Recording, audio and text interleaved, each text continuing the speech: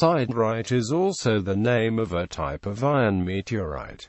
Siderite is a mineral composed of iron carbonate. It takes its name from the Greek word sigma iota delta eta rho omicron sigma sideros, iron. It is a valuable iron mineral, since it is 48% iron and contains no sulfur or phosphorus. Zinc, magnesium and manganese commonly substitute for the iron resulting in the siderite smithsonite, siderite magnesite and siderite rhodochrosite solid solution series. Siderite has Mohs hardness of 3.75 to 4.25, US specific gravity of 3.96, a white streak and a vitreous luster a pearly luster. It crystallizes in the trigonal crystal system and a rhombohedral in shape, typically with curved and striated faces. It also occurs in masses. Color ranges from yellow to dark brown or black, the latter being due to the presence of manganese. Siderite is commonly found in hydrothermal veins, and is associated with barite, fluorite, galena, and others. It is also a common diagenetic mineral in shales and sandstones, where it sometimes forms concretions, which can encase three-dimensionally preserved fossils. In sedimentary rocks, siderite commonly forms at shallow burial depths and its elemental composition is often related to the depositional environment of the enclosing sediments. In addition, a number of recent studies have used the oxygen isotopic composition of sphaerosiderite as a proxy for the isotopic composition of meteoric water, shortly after deposition. Spathic iron ore. Although spathic carbonate iron ores, such as siderite, have been economically important for steel production, they are far from ideal as an ore. The hydrothermal mineralization tends to form them as small ore lenses, are often following steeply dipping bedding planes. This makes them not amenable to open cast working, and increases the cost of working them by mining with horizontal As the individual ore bodies are small, it may also be necessary to duplicate or relocate the pithead machinery, winding engine and pumping engine, between these bodies as each is worked out. This makes mining the ore an expensive proposition compared to typical ironstone or hematite opened casts. The recovered ore also has drawbacks.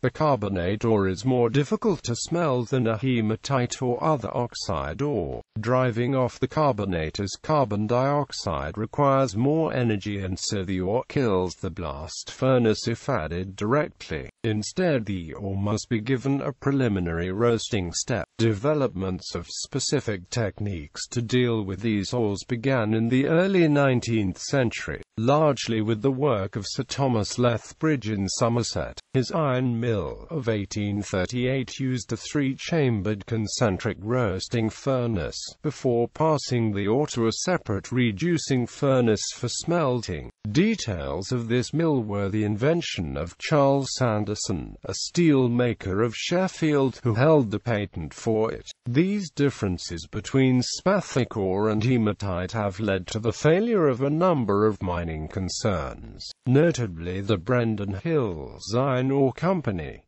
Spathic iron ores are rich in manganese and have negligible phosphorus. This led to the one major benefit connected with the Bessemer steel-making process. Although the first demonstrations by Bessemer in 1856 had been successful, later attempts to reproduce this were infamously failures. Work by the metallurgist Robert Forrester Mushet discovered that the reason for this was the nature of the Swedish ores that Bessemer had innocently used, being very low in phosphorus.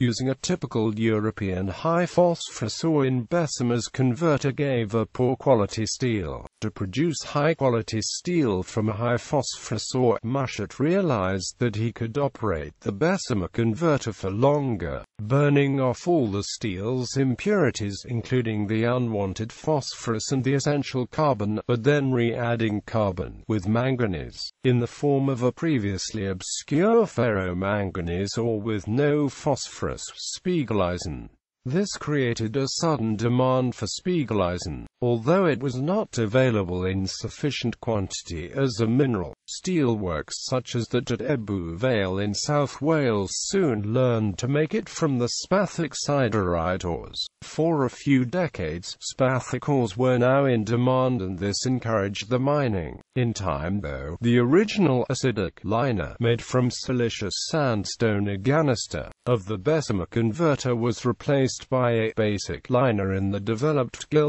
Gilchrist-Thomas process. This removed the phosphorus impurities as slag produced by chemical reaction with the liner and no longer required Spiegeleisen. For the 1880s demand for the ores fell once again and many of the mines, including those of the Brendon Hills, closed soon after. Gallery. Dot dot dot dot.